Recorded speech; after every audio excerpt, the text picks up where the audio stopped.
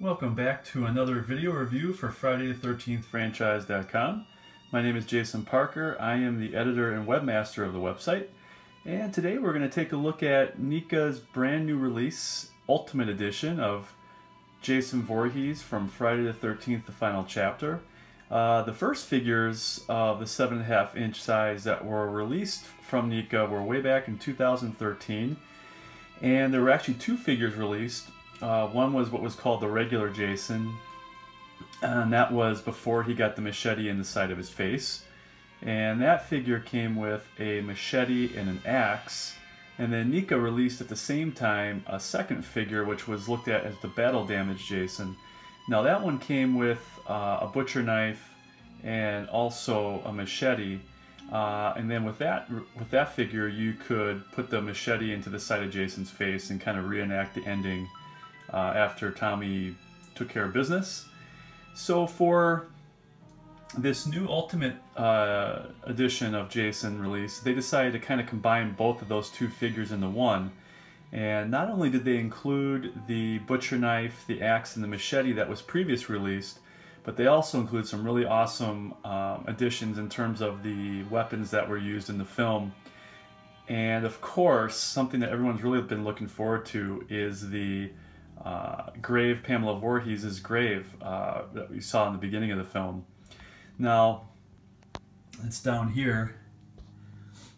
Now, this isn't the first time that Pamela's grave has been included in a uh, release of Jason uh, for Friday the 13th, the final chapter, uh, Mezco actually released uh, a part four figure uh, as part of their Cinema Fear line, you know, a few years back, maybe five, six years ago, and they also included the uh, the grave for Pamela Voorhees, which is a really nice addition.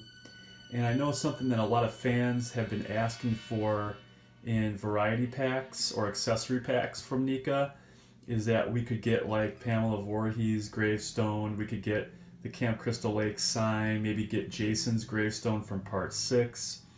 So this is something kind of really cool that they brought back for the fans who didn't have the opportunity to get the final chapter figure from Mezco Toys. So that's a nice addition. Um, also, you got the infamous corkscrew from the scene that uh, Jimmy kind of asks, Where's the damn corkscrew?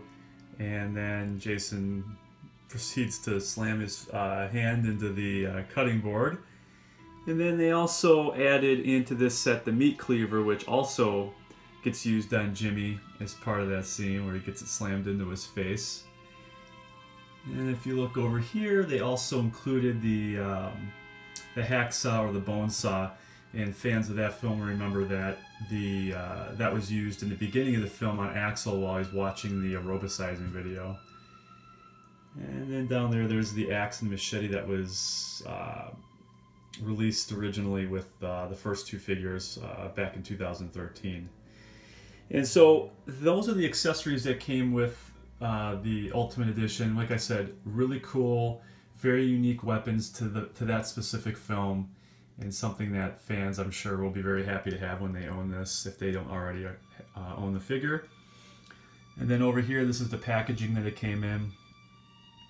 Um, just use the uh, the normal poster art from the film, and then there's the side, which is really cool side uh, art for the, for the packaging. And then there's the back of the box. Some really cool action shots of Jason with the the hacksaw, and then also what we talked about before with the uh, machete going in the side of his face. Uh, I also like the the fall scenery with the leaves with the gravestone. I thought that was really cool job that they did with that. And then there's the figure itself. the figure comes with both the battle damaged and then semi-battle damage from part 3 head of Jason. And right here, there we go, I'll take a close look there. NECA did a really good job on the head sculpt for this figure, and I've been saying this in the past before with the hockey mask that they release. I think that they that NECA as a company is still highly underrated in terms of the detail that they they lend to not only the hockey masks that they create for the seven and a half figure and also the one to one scale, but also the the designs of Jason's face in general. I know a lot of people think that you know custom uh, people who do custom work make the best, and it's very possible. But I think NECA needs to be given credit for the detail that they put into not only the hockey masks but the sculpts for Jason's uh, head and the body as well. And if you can see, I mean, that's pretty accurate to the film. I think they did a hell of a job on that. Even that on the bottom jawline with the teeth sticking out to the right, that's very screen accurate. And also, just looking at the hockey mask for Jason in this particular scene, I mean, all people who follow the film or, or big fans of this particular film know that as the movie wears on, the chevrons themselves, they uh, they start to wear off the mask, and at the very end, you just have half a triangle chevron on top where the eyebrow is. And earlier in the film, they don't they have almost all red chevrons, so it's just really screen accurate. I mean, a lot of companies may just make these and not go through the trouble of, of actually doing that. And you can actually see where the chevrons were before, just like in the film. So, also at the very top where the uh, axe mark is put in the mask, you can see that little kind of a crack ridge line going running down into the eye hole, the left eye hole. That's just like in the film. So, I mean, they did their homework. They did a really good job on the hockey mask. I think they did a really good job on the uh, face sculpt there. And then you have the figure itself. And I think the figure in general is probably pretty similar to what was released previously. I think they may have did may have may have done some retooling on that. But overall, I, I think the figure is awesome. I think they did a really good job on this. Um, let's kind of scan through here.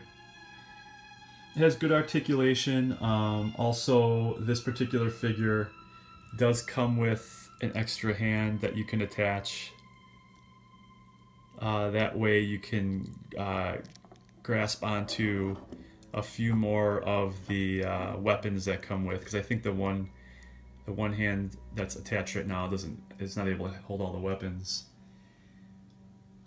And there's a good close-up shot of Jason standing up. And even the work on this is done really, really well. Again, I can't. I just. I think.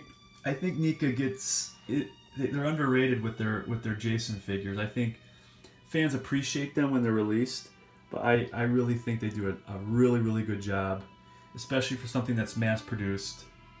I don't think there's anybody out there better right now, so. But that's it, guys. That is the Jason Voorhees Friday the 13th, the final chapter, Ultimate Edition. Uh, Jason figure, 7.5 inches from NECA, uh, uh, NECA Toys. And uh, that, thank you very much for watching our review. Thanks to NECA for providing the, uh, the figures for the fans to enjoy. And keep an eye out for our next video review coming soon of the Sideshow Part 3 uh, Jason figure. Take care, everybody, and thanks again for visiting the website. And we'll catch you next time.